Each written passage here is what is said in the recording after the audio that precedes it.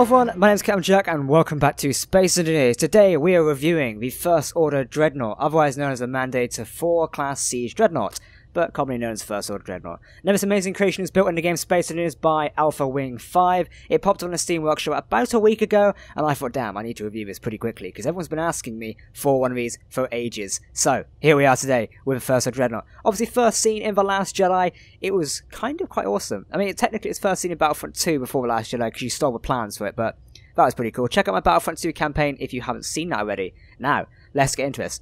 So if you don't know about the Mandator 4 Siege Dreadnought, uh, basically it's the First Order's giant starship. It's 7,600 meters long. That's tw- almost 25,000 feet.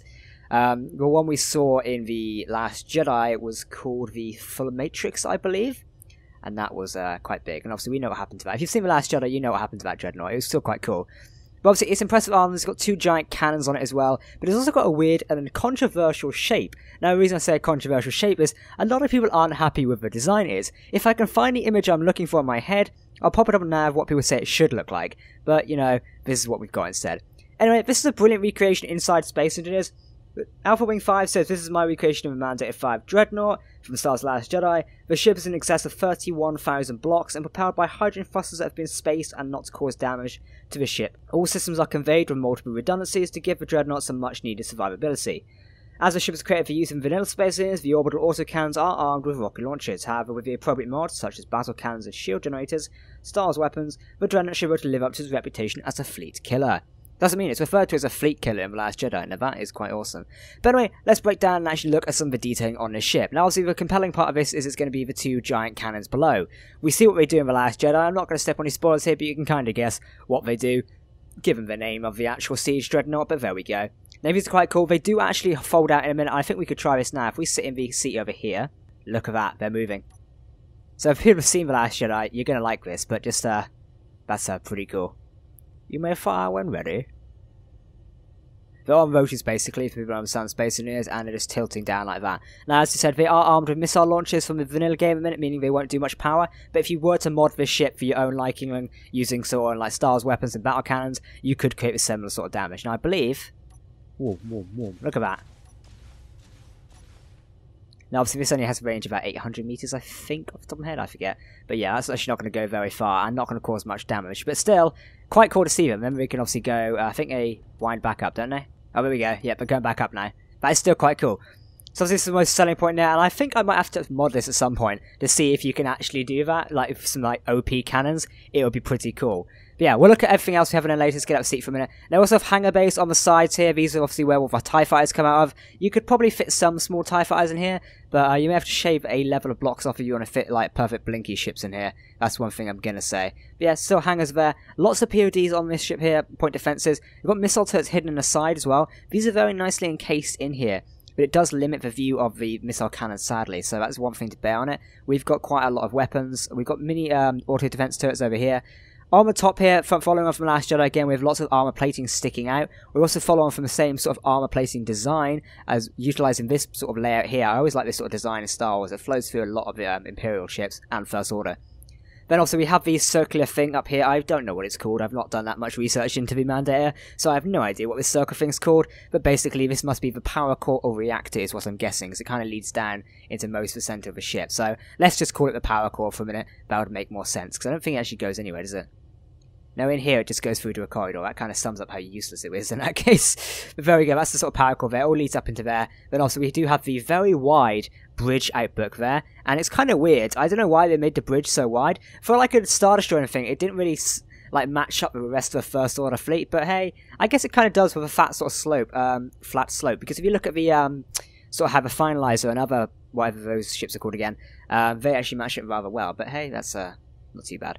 Anyway, Moving on again, we've got the sort of tiered front up here again, following off of most First Order designs. They have a similar sort of design here at the front there, almost like a, it's almost like a ship in a way, upside down ship. Not really, but yeah, it, you kind of up there. This ship is also made all out of heavy armor as well, so if you feel like taking it into battle in Space Engineers, it is going to be able to take a hit, which is quite good to know, because sometimes, like myself, uh, we build ships in vanilla, and they, they are basically like paper. On the back here we have all the engines, now these are done in LCDs to give the impression they are the Stars ones, when in fact these are just LCD blocks, but we have hydrogen stuff hidden behind it. Now Alpha Wing 5 has an amazing thing here, instead of making it so you have to turn hydrogen damage off or thruster damage off, he's hidden them so for buck they won't burn armor anyway. Thank you so much for doing this man, it saves a lot of time for people who ask. Got an internal command center in here, we'll pop around the insides in a minute. Mostly just engines and everything hidden inside here, which is pretty cool and straightforward. Awesome. Going over top here, we also have another section of weapons up here. These are Gatling guns, so these can be even bigger uh, point defense as well. But mostly listed all over the top there is your mini point defense cannons. These can get shot off by X-Wing pilots who feel they need to fly too close to the ship. But that's about it for the detailing. Roughly the ship is mostly the same. Obviously we've got the autocannons under there, or not autocannons, the siege cannons I guess you could call them. And that is roughly about it. We're going to take a look inside now, starting on a bridge, and basically go from here. So this is the main command bridge of the Dreadnought. We've got quite cool things here. These are almost like your periscopes in a way. You look through these to check you're on target and stuff like that, which I kind of like the addition. I, I, always like that in sci-fi when you meet old technology and cross it with sort of the new futuristic stuff.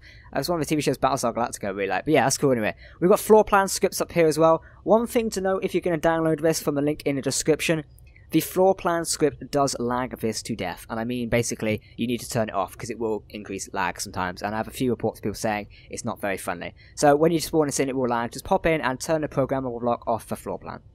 But anyway, this is the bridge of the Dreadnought. Now we've got a couple of doors over here. I think these may lead to the other side. Yeah, these lead to the other side. So it's like a giant con tower. Now I don't know if the interior of the ship's going to be accurate. I'm going to presume it's not uh, because we didn't actually get to see that much of a dreadnought inside compared to like we've seen the finalizer, uh, we've seen the sidebirds. So yeah, that's uh, going to be a little bit difficult. We'll pop down the elevator now. The other side's the same, by the way. And I think our first floor should be here. Ta-da! Yes, this is another bridge, I believe. Um, yeah, it is. This must be like another lower bridge, that's CIC, but you're sort of on ground level here where you can see out and see most of the other parts of the ship, which is pretty cool, because you can see things oncoming towards you. That's why, I don't know, I don't know if I'm a particular fan of a Mandator, because it seems such a flat and weird looking ship. I don't know. A lot of people have complained about it, or criticised it, because it doesn't like stay true to Star Wars, but, nah. Opinions, opinions. So we're back in another command center I accidentally walked into a minute ago. Lots more windows and stuff down here. Loads of control seats, including lights. We've also got another floor plan thing here. This can be seen as like sort of a back command center because the bridge is a bit exposed sometimes, which is fair enough. I'm liking the design of the corridor here. That's really nice. Yeah, these are nicely designed corridors. Uh, excuse the lighting glitch, by the way, that is an error of Space News at the minute. Sadly, we cannot do anything about that. Going through here, this seems like the interior workings of the, the Dreadnought, and I quite like this as well. These reactors lined up here, this is awesome. For like a fan-made interior, this is really nice. Seeing all this lined up here with all the oxygen blocks and everything like that, and the hydrogen containers and ammo containers, that's just really nice. Oh, we got like uh, blocks we can come in. Oh, spotlights inside, look at that. Can we turn them on? Uh, let's see, spot engine room spotlights online.